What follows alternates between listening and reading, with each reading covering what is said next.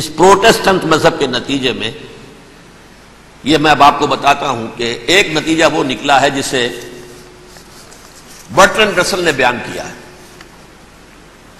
उसकी किताब है इन प्रेज ऑफ़ आइडलनेस, सफ़ा 108 वो लिखता है, the Christians retaining the Judaic belief in special revolution, added to it the Roman desire for world wide domination.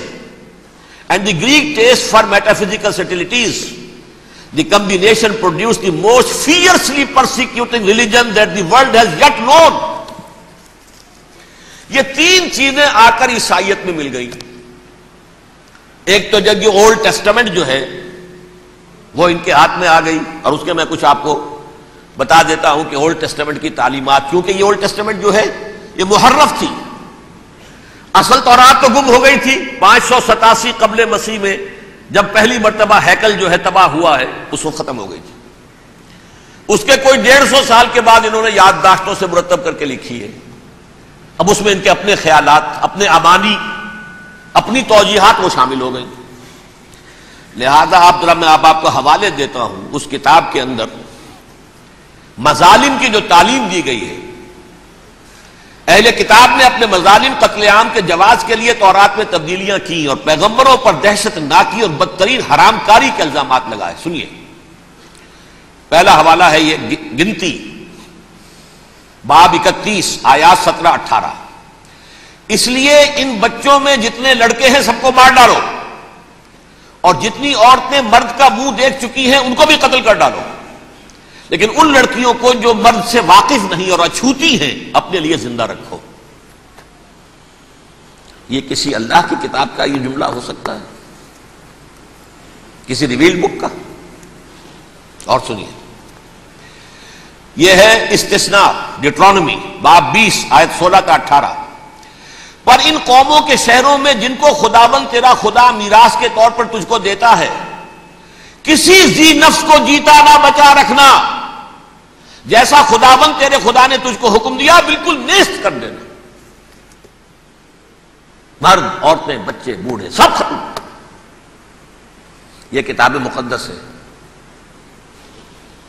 और सुनिए। सेमुएल, बाप सत्ताईस, आयत नंबर नौ। और दाऊद ने इस सरजमीन को तबाह कर डाला और औरत मर्द किसी को जीता ना छोड़ा। नंबर चार, इन सब आबाद शहरों को माँ औरतों और बच्चों के बिल्कुल नाबूद कर डाला।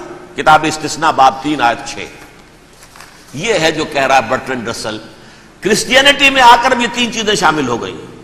एक तो यह बारबेरियन, ये तालीम जो है, और यह मज़हब के नाम पे तालीम। यह किताब मुकदस की तालीम।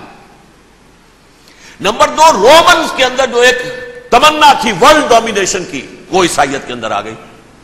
इसलिए पूरी रोमन एम्पायर जो है, ईसाई हो गई। तो उसे विरासत के अंदर वर्ल्ड डोमिनेशन की जो एक तमन्ना थी, वो मिल गई। और फिर यह कि उन्होंने जो तवहमात थे यूनानियों के, उनको भी अपने यहाँ मुख्तलिफ़ शक्लों के अंदर जमा कर लिया।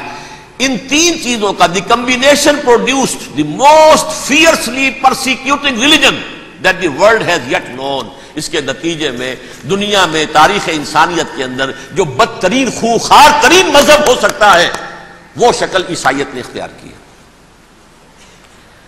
और इसका मजहर अतम क्या था, नोट कीजिए। सलीबी जंगे। एक बार टाइम टेबल के एतबार से नोट कर लीजिएगा। फ़र्स्ट मिलेनियम खत्म हुआ सेकंड शुरू हुआ।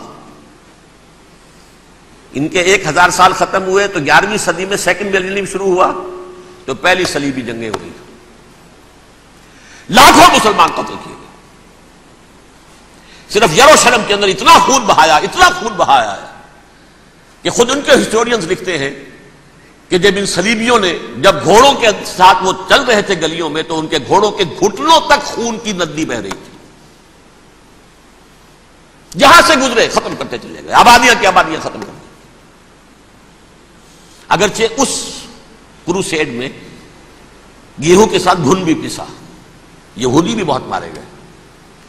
ये फ्रांस से, जर्मनी से, जब ये क्रूसेडर्स आ रहे थे, तीन हज़ार मील का सफ़र तय करके आए थे, सोचिए तो सही। अरबन सानी पोप जो था, आग लगा दी थी उसने पूरे यूरोप के अंदर। शर्म से डूब मरो। तुम्हारे मुकदस इलाके मुसलमानों के हाथ में इन्फिडल्स ये काफिर, ये मुर्तिद ये मुलहद। मसीह जहाँ पैदा हुआ, मसीह को जहाँ सूली दी गई, वो कहाँ है? उनके हाथ में।